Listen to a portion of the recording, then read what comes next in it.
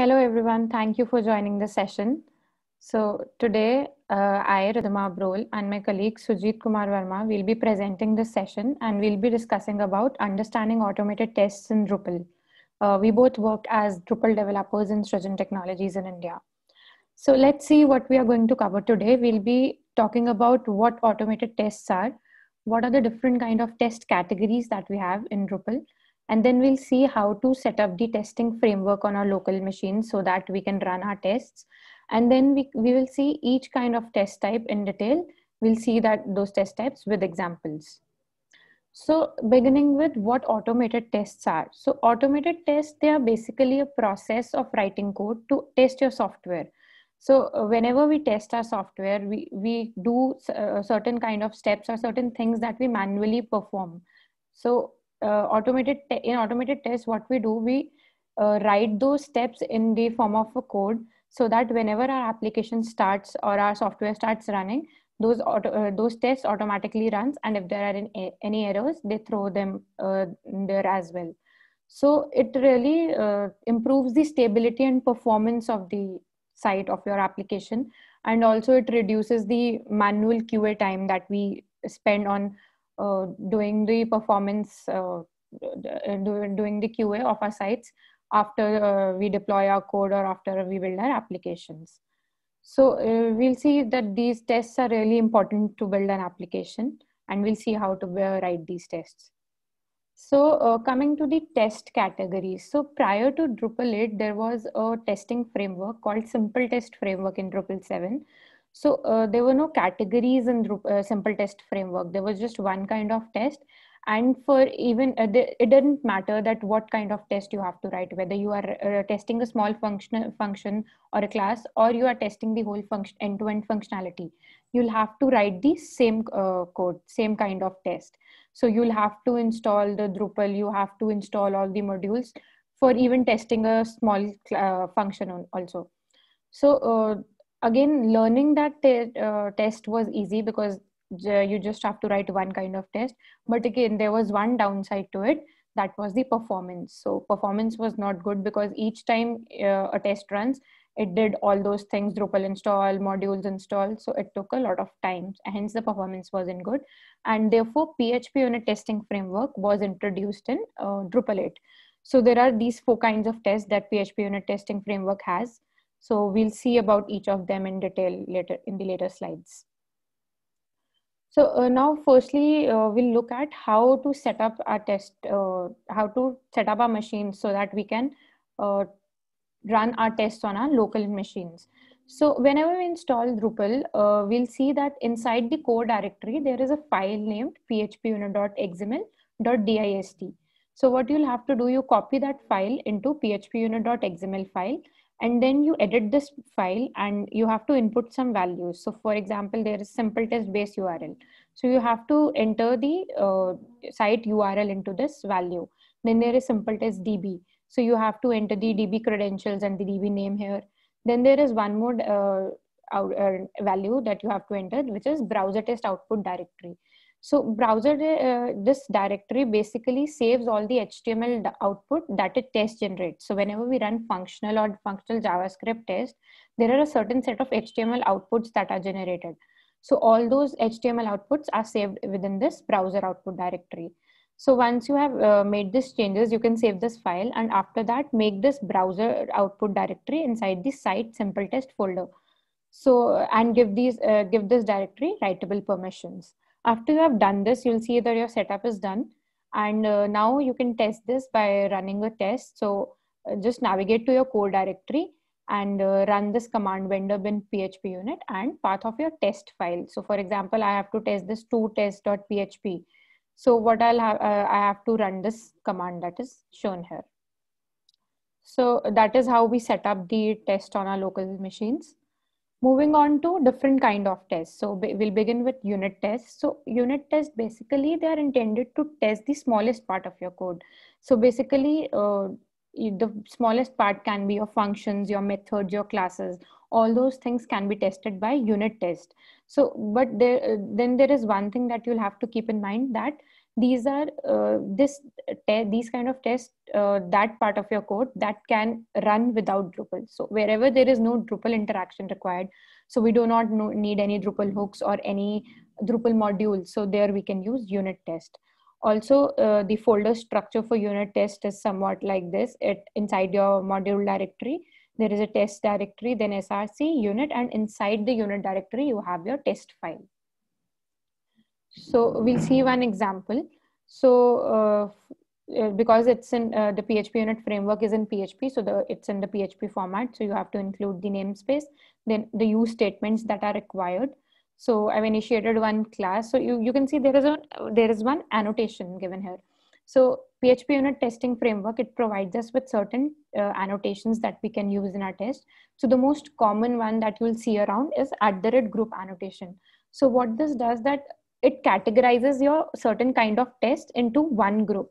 So it helps in running a certain kind of test together. So for example, I have to run a certain group of tests together. So I can run that by using the command and I can use this uh, group name in my uh, command that I run on the terminal. So it makes that easy. So uh, there are several other annotations that are provided, so we can use them as per our requirement. So uh, here you can see that I've extended this unit test class by from unit test class, uh, unit test case class. So uh, in the previous slide, we saw that we we included this unit test, our unit test file inside the unit directory. But just including your test file inside the unit directory uh, doesn't uh, like drupal won't identify that it's a unit test just by including that inside the unit directory. So how how the system identifies it so it identifies by certain classes that drupal gives us. So for each kind of test there is one base class that drupal provides us with. So for example for unit test there is a unit test case uh, unit test case class. So all the tests that will be uh, extended from this class will be recognized as uh, unit tests. So for for other methods also you will see that there is an uh, there is one certain class that is derived from a certain class. So uh, the next uh, we see that there is a setup method that we have. Uh, so uh, before call uh, before a test method gets run each time this setup method is invoked. So setup method basically it involves all our basic fun basic things that uh, that we need for our test. So for example you can say that logging in uh, creating an admin user and log in into a uh, into our system with an admin user also so, you can hear, see here that i have created an object a new object inside the setup method so uh, that was about the setup method. Now we can see that there is a test method that we have. So there is a, a naming convention that we use for the test method. Your test method has to start with the keyword test. So if there's not a, if you are just write the set get length without the keyword test, so it will not get executed. Hence this is important. So now we'll see what we are doing here. Uh, I'm setting the length of this uh, object to nine and then I'm checking this by this method assert equal. So I have given the static value 9 here and I'm getting the uh, length of this uh, object and this should be equal to 9 as we have set this as 9. So this will be equal and hence the test will pass. So again, you've seen that there, uh, there are some assert methods here. So uh, uh, again php unit provides us with certain assert methods or you can say drupal core provides us with uh, certain assert methods. So we can use those assert methods in our test as per our requirement. So this is how we write unit tests uh, moving forward to kernel tests. So uh, kernel tests some lie somewhere between your unit test and functional tests. So uh, for functional test you'll need a proper end-to-end uh, task that need to be performed. But again unit test is the simple you are testing your simple functions or methods. But kernel tests are uh, kernel test also tests your methods or your functionality also. But it uh, it tests that part of your code that need drupal interaction. So if anywhere you're writing a unit test and you uh, you require the need of a drupal interaction or drupal module you can say. So you there you'll have to go for kernel test so also one more thing that uh, kernel tests do not provide us with a uh, browser interaction. So if anywhere uh, in the test you'll need a browser interaction, you need a UI. So there you cannot write kernel tests. So uh, this is the uh, folder structure for kernel test, similar to the unit test. So inside your module directory, test src, then the kernel directory, and then your test file. So uh, we'll see one example for kernel test base also. So uh, again, kernel test, uh, all the kernel tests are extended from this kernel test base class. So what we are doing here, we are, I'm, uh, I need the language module here. So I have uh, enabled this module here. So again, a Drupal module is involved and hence unit test cannot be used here. So now we are writing a test method. So what we are testing here, we're testing the get name and set name methods of this configurable language class in this method. So what I'm doing here, I've generated a random name, uh, random name, and then I've generated a lang code and I've uh, created a new object and I've assigned this label, uh, this name and language to the label and ID here. So now I'm checking uh, by this assert equal method that my get name should be equal to the name I have set here. And also uh, now you can say, see that I'm setting my name to test language and uh, now I'm getting the name. So this should be equal to the test language and hence this method should pass. So this is how we write kernel tests. So uh, moving forward, I'll hand over to Sujeet for the rest of the part. Thank you. Thank you, Ridhima. Hello, everyone. So now we discuss about functional test. What is functional test? In the functional test, uh, you are working with a complete and working version of the software. And uh, you writing, when you write a functional test, we need to follow four important set of tasks like uh, login as a user with a given set of permissions, navigate to the uh, given URL, given page, perform a specific action on the page, check if the page shows expected result or not. So these are the four simple simple tasks uh, for running any functional test. So as we can say, functional tests are called full stack or uh, integration test. These tests uh, put all the piece of software together with and execute them. When you write a functional test, you can take the uh, perspective of end user attempt to perform a scripted set of tasks. So we can say this is all about the functional test. Now, uh, if we check on the left side, we have a directory structure like all other uh, test uh, this directory structure also similar, but uh, only one difference is uh, the directory uh, directory name. Here we talk about the functional test. So now this is uh, a functional directory. So the naming convention for test file like class name of your file and test.php.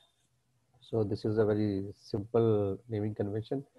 So we have an example related to functional test in the next slide. Let's move.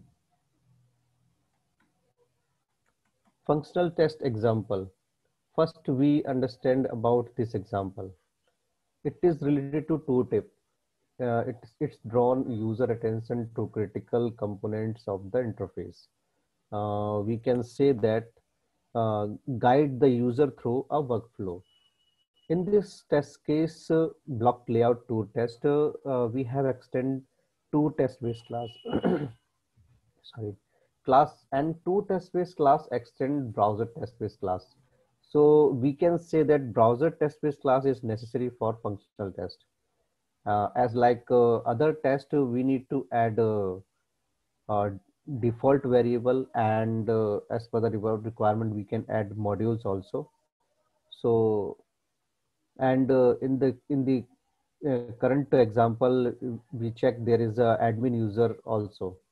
So admin user is there because we need to log in into the system and then perform the functional test.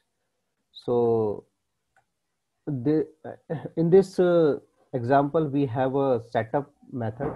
So in the setup method uh, we check we log in with the some appropriate permissions and then uh, place a block there.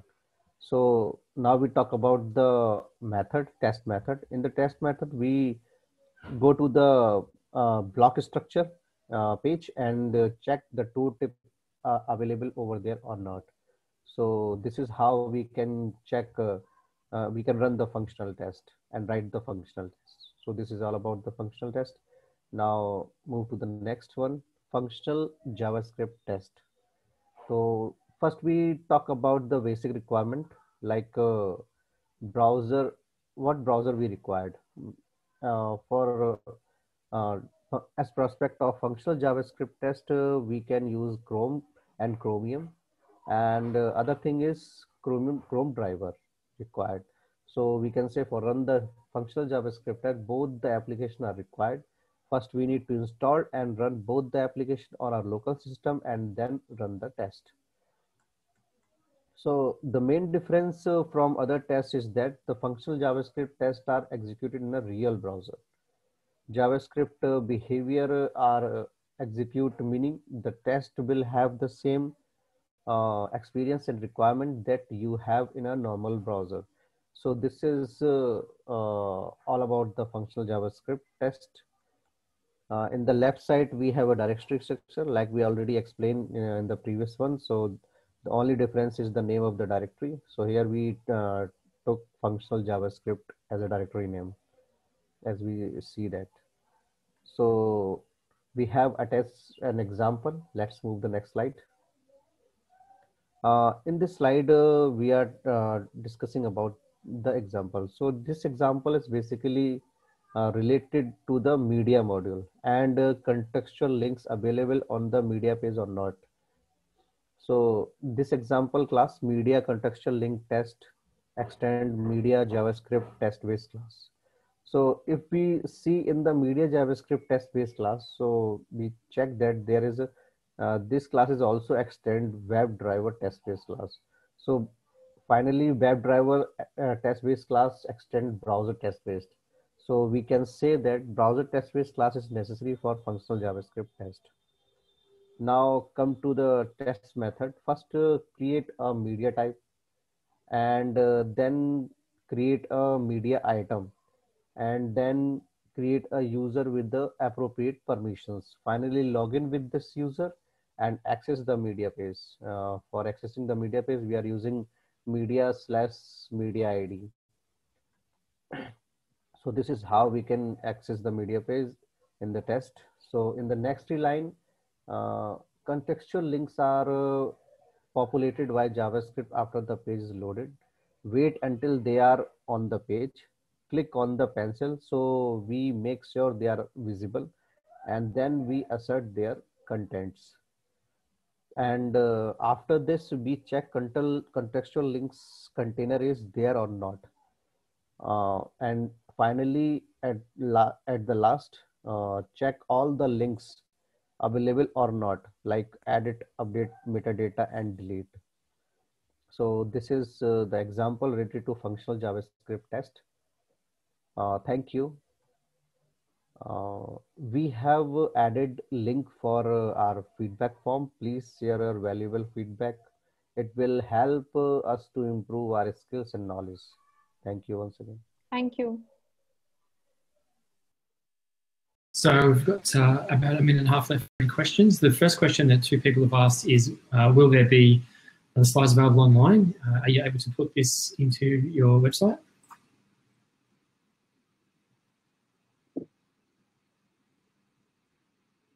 uh, or are you able to, will you be putting the slides up on your like company's website?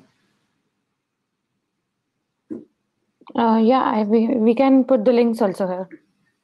The link yeah, the slides. That'd be great. Uh, they're the only two questions that we've got so far. Um, yeah, granted, it is hard to read codes examples in the presentation, so it's good for people to be able to have a look at that after the fact. Uh, are there any other questions? We've got about 45 seconds left.